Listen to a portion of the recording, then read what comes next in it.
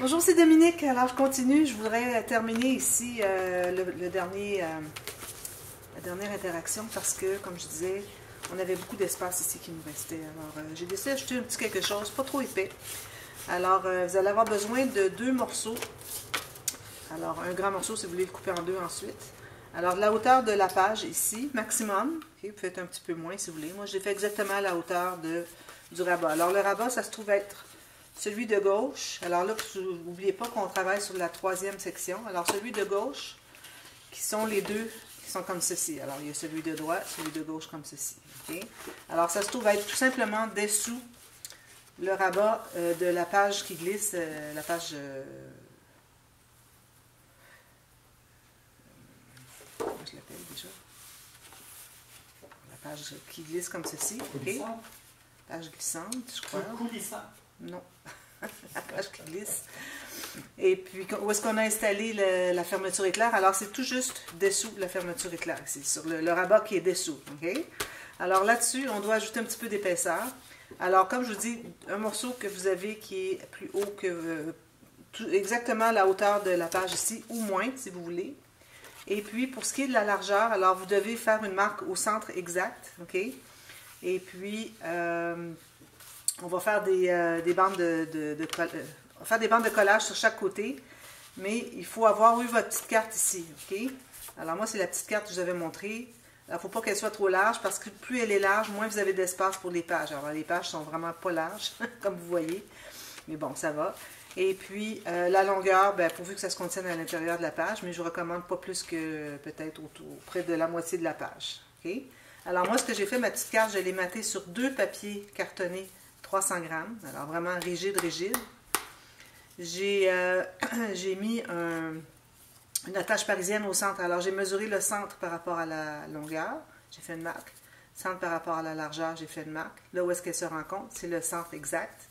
Et puis j'ai mis un petit papier ici pour mon attache parisienne, pour que ce soit plus facile à installer euh, juste par-dessus, euh, pour ne pas avoir à...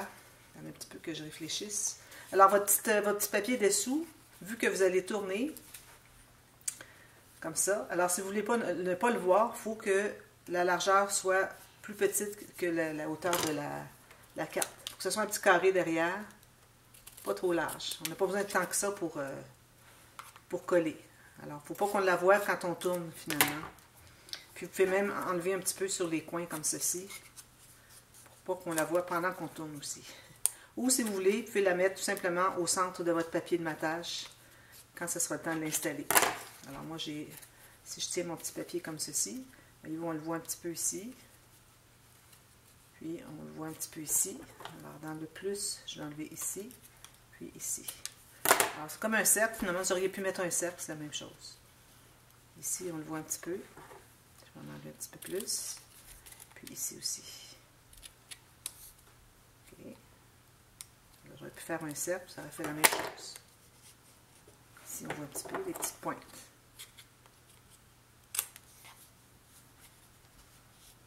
Comme ça, comme ça.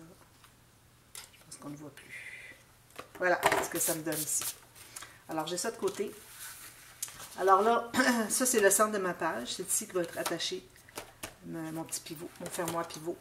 Alors là, il faut se faire une marque, à savoir quelle largeur qu'elle va prendre. Alors ici, je me trouve à voir... Euh, ou ce qu'on peut faire, c'est qu'on peut l'attacher. Alors, si moi, c'est mon centre ici. On se fait une marque ici et ici. OK? Je vais mesurer chaque côté pour voir si c'est la même chose. Alors, ici, j'ai 78 mm. Ici, j'ai 78, même chose. Alors, je vais faire mes rabats ici un tout petit peu plus petit. Alors, je vais me garder environ 1 à 2 mm ici, que je laisse d'espace pour que la carte, euh, qu'elle puisse quand même se loger quelque part. Alors, elle va tourner comme ceci pour fermer, mais il faut se garder environ 1 à 2 mm. Alors, je me fais une marque ici pour ma ligne de pliure. Je vérifie si l'autre côté c'est la même chose. Si je me mets 1 2 mm, même marque ici, c'est parfait. C'est la longue ici. Alors, je vais faire une ligne de pliure ici. Je fais la même chose sur l'autre carte. Alors, pourvu que vous ayez gardé la largeur, euh, si vous faites la moitié de la largeur de la page, vous allez être correct, votre bande de collage va se contenir ici. Alors, je fais ma, ligne de pliure ici.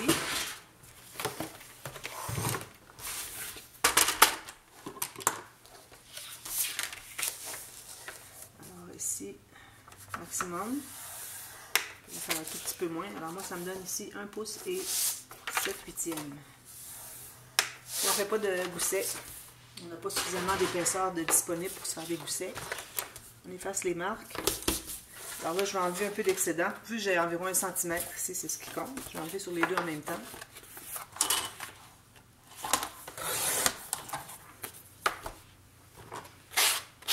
Ici. On va biseauter les coins.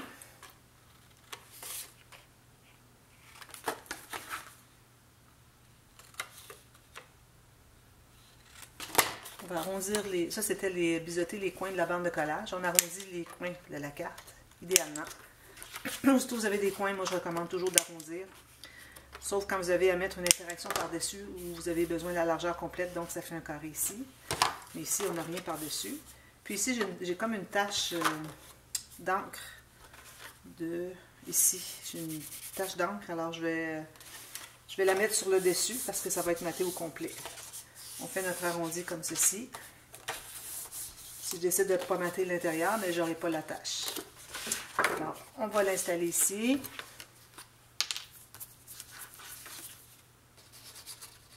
Alors, la colle sur l'extérieur de la bande de collage.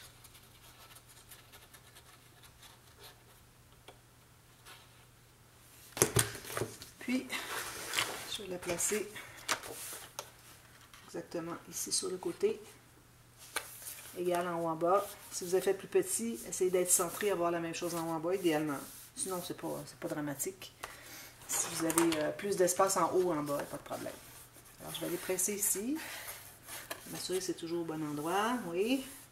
C'est difficile à coller le, papier, euh, papier cartonné 300 grammes, 110 livres. C'est raide, puis ça va toujours décoller. Je vais faire la même chose ici.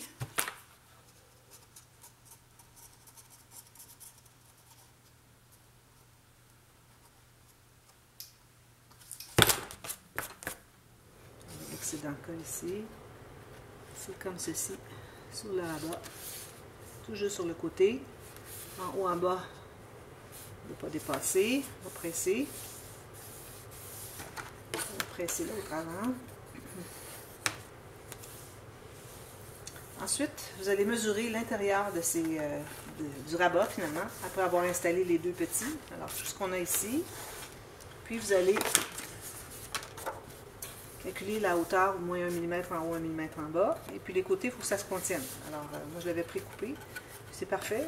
J'arrive juste égal. Si vous voyez que quand vous fermez comme ceci, ça veut faire un, un ça veut... Un petit peu que je l'attrape. Ça veut monter un peu comme ça, c'est qu'il est trop large. il faut que ça se contienne bien, que ça reste plat. Alors là, si vous voulez, vous pouvez installer votre, euh, votre euh, petit fermoir. Moi, je vais le mettre... Je vais coller dessus vu que j'ai tout arrondi ici. Alors, je vais tout simplement tout coller ça. Alors, moi, j'ai mis un papier comme ça. Vous pouvez toujours faire juste des espaces photos, des incrustations, tout, ça. Je vais probablement ajouter par-dessus, tout simplement, euh, deux espaces photos et puis des petits papiers pour décorer. Parce que j'aime bien quand c'est euh, tout maté. Bon, si vous voulez sauter cette étape, placer vos espaces photos.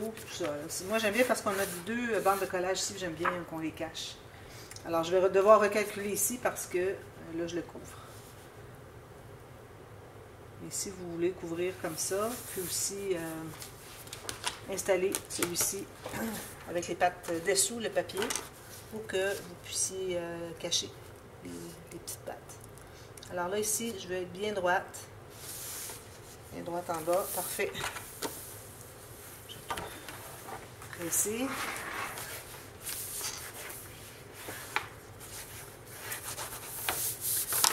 Puis, je vais recalculer mon centre. En même temps, mais ça va vous montrer ceux qui ne sont pas habitués comment procéder. Mon crayon, il est... mon crayon.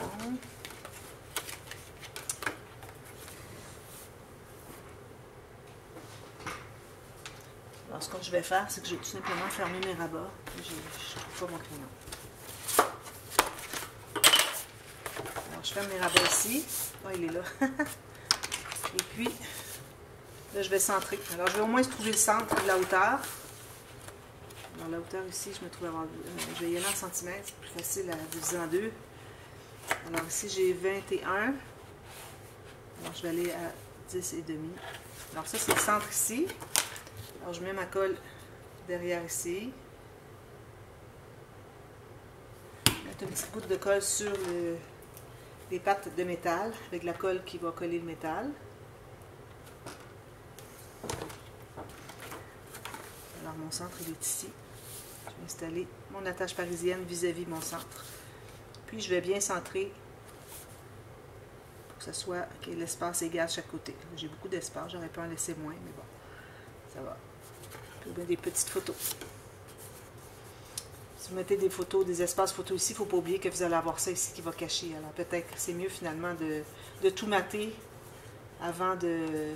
plutôt que de mettre juste des espaces photos. Mais si vous voulez mettre juste des espaces photos plutôt que de mater ici, ben, je vous recommande d'installer votre attache, euh, votre fermoir ici. Ensuite, vous allez voir qu'est-ce qu'il vous reste comme espace pour mettre vos espaces photos. Moi, je vais en mettre une là, une là. Puis, ça sera comme ceci quand on les regarde. Ici, j'ai un petit bouquet d'épaisse. Je vais essayer d'aller le chercher. Me suis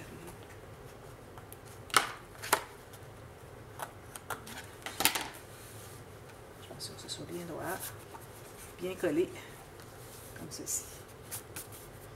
Vous avez vos rabats comme ceci. Et puis, vous tournez comme ceci. Si je mettre des beaux papiers décoratifs, peut-être des espaces photos, deux, quatre petits espaces photo ici. Ici, je vais mettre, euh, vis-à-vis la, bande ici, je vais mettre du papier de design. Puis, fait ça, on ouvre. Ici, ça va être euh, du papier uni avec des espaces photo aussi. Puis ici, un espace photo, un espace photo, des papiers pour remplir ici. Alors voilà. Alors mon papier qui va remplir ici, il faut faire attention parce que j'ai pas de gousset sur les rabats. J'ai déjà mis un papier. Si j'ajoute un autre papier pour euh, les espaces photo, et puis en plus il y a une photo, alors, il faudrait vraiment garder une petite distance ici pour pas que l'espace photo arrive exactement au, côté ici parce que ça va avoir de la difficulté à fermer. Alors, si vous gardez environ 7-8 euh, mm, mettre l'espace photo, j'espère que je vais y penser. À ce moment-là, il n'y a pas de problème pour fermer parce qu'on n'a pas une accumulation tout juste sur le pli. OK? Alors, ça, c'est ça. Tout simplement. Trop joli. Alors là, je vous viens avec le dernier pop-up maintenant. Alors ça, ça va aller ici comme ceci. Voilà. Alors, le dernier pop-up, quelque chose de simple. Alors, j'ai pris une feuille. Alors, je vais me rendre au fond. Alors, ici, on avait tout terminé. L'interaction, les interactions. Ça, il nous reste à tout fixer ça. On a notre cahier euh, journal ici. Pochette ici. Ici, je vais arrondir les coins. Alors, on s'en va au fond ici. Ça, c'est le rabat du pop-up, le dernier ici. Alors, j'ai calculé un papier de la même largeur ou un tout petit peu plus petit. Alors, j'ai environ peut-être 3 mm de moins large que le rabat en haut, qui est le rabat du pop-up. Et puis, j'ai pris toute la longueur de mon papier. Ensuite, j'ai trouvé le centre. Je me suis fait une marque au centre du plus long de votre papier. Alors, si je mets le centre vis-à-vis -vis le pli de mon rabat d'en haut, alors vous allez calculer environ euh, à peu près un centimètre, vous allez faire une marque ici, en bas. Un centimètre en bas de euh, la marque. Parce que là, ici, vous avez fait une ligne au centre pour marquer le centre. Mais il faut aussi faire une ligne de pliure pour les bandes de collage. Alors, ma marque ici de bande de collage, si j'aligne le centre vis-à-vis -vis le pli ici, alors je vois que ma bande de collage est ici. C'est là que ma carte va terminer. Alors, je calcule, je me fais une marque environ 1 cm plus bas. Alors, l'équivalent de la bande de collage, pas plus. OK? Je me fais une marque ici. Puis ensuite, je vais mesurer ce que ça me donne. Alors, à partir de mon pli, ça me donne exactement, alors je vais aller ici à 13,5 cm. Donc, je vais me faire une marque en haut aussi à 13,5 cm. Alors, je mets 13,5 sur mon pli. Je me fais une marque ici à 0. OK? Alors, euh, on va commencer par faire ici que vous compreniez où est-ce qu'on s'en va. De toute façon, on peut toujours aller revoir le, dévoilement s'il y a des choses que vous ne comprenez pas en cours de route. Alors, je faire mes lignes de pliure.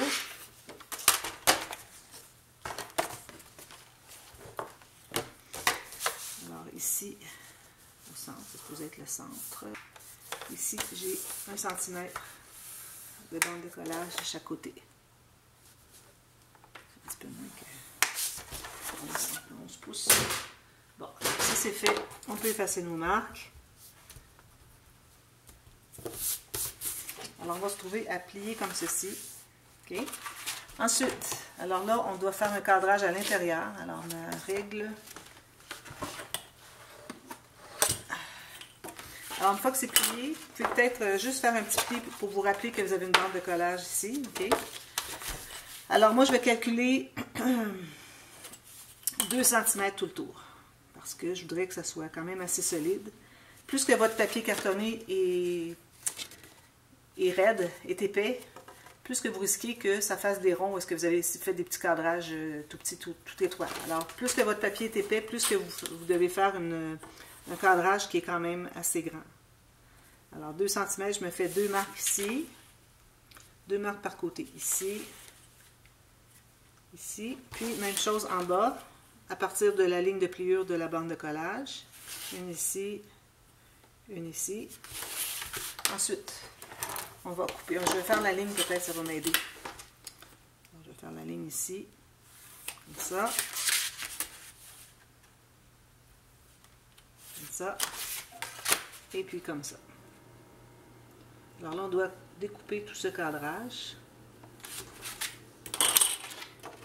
Alors, vous pouvez tenir votre carte bien, bien serrée au centre. Parce que si vous la tenez comme ceci et vous continuez, vous allez aller en diagonale derrière. C'est important de tenir le haut où est-ce qu'il y a les deux morceaux, pour que tout reste bien droit. Vous, vous tenez bien serré pour pas que ça déplace. Jusqu'au bout ici. Même chose ici, je m'assure que c'est bien sur le pli. Je tiens en haut. Ça, c'est un truc pour quand vous avez à couper quelque chose qui est déjà plié. Pas que ça aille en diagonale, il faut vraiment tenir le haut. Pour que ça se déplace.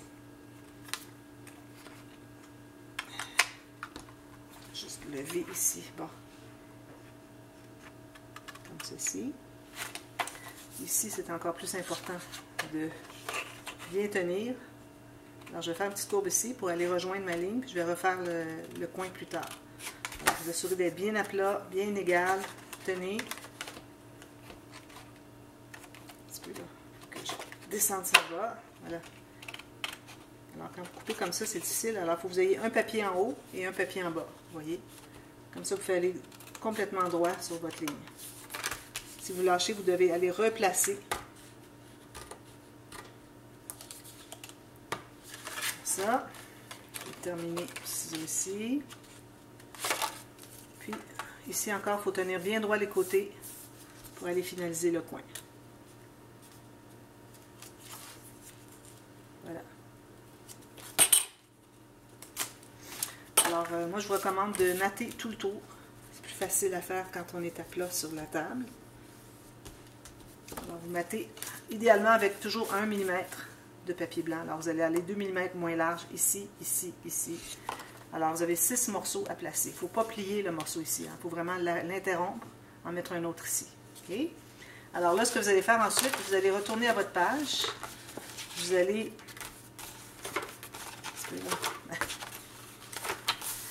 Alors, mesurez de ici à ici. Vous devez faire une pochette. Alors, je vais prendre deux autres feuilles.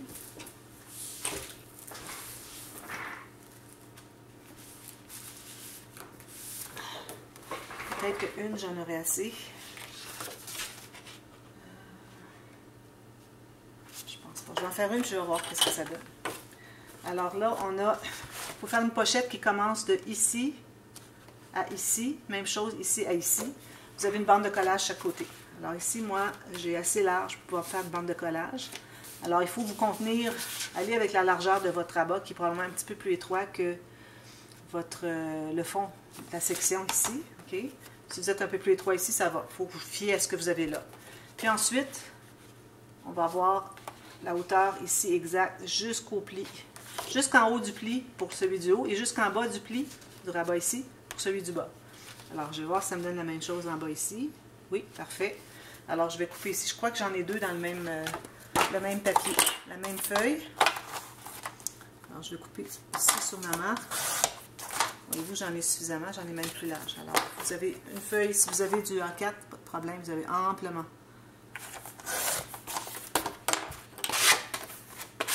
Je vais faire mes bandes de collage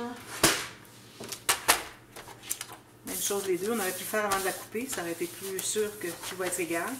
moi, je vais les mettre euh, bout à bout comme ceci. Alors, ici, je me trouve à avoir un bout de pouce.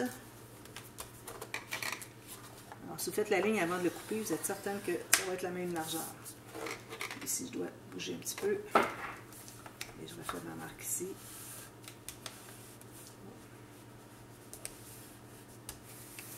Ceci.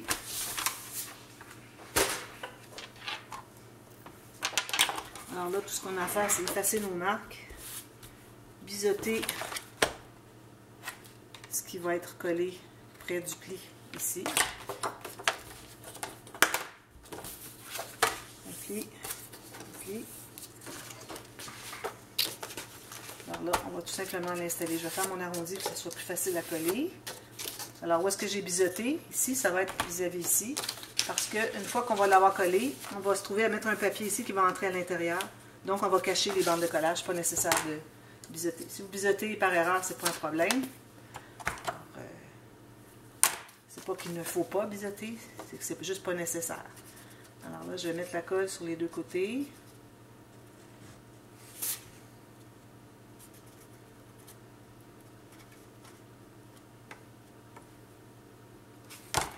Je vais l'installer tout juste pour que ça plie bien.